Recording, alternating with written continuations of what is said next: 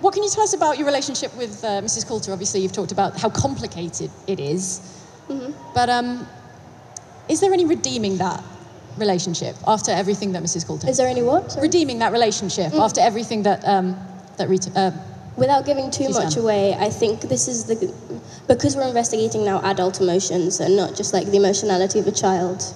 Um, we get into this area of, I think, the responsibility one feels towards their family and their parents, as well as your bond to them, and as well as that, you feel she. I think what's complex about Lyra is that she really wants to have parents, but she really hates her parents. But because she wants to have them, she's always kind of got that part of her that's waiting for them to surprise her.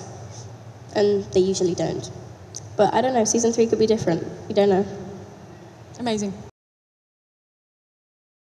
I understand that you did some shooting on location in Spain, just Yeah. to bring up the mood a little after that very Yeah, emotional yeah. scene. How was it filming in Spain? It was so lovely because I'm from Spain, so I was really happy that I got to like speak in my language Yeah. It was really lovely. We went to like some really lovely locations. We got to go to the beach when we finished filming.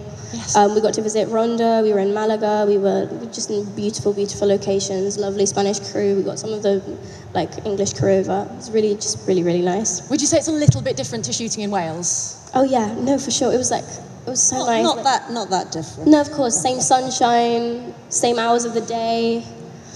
Oh, God. No, I love Wales. Sorry, that sounded really bad. Yeah, no shade on Wales, obviously. No, no beef for the Wales.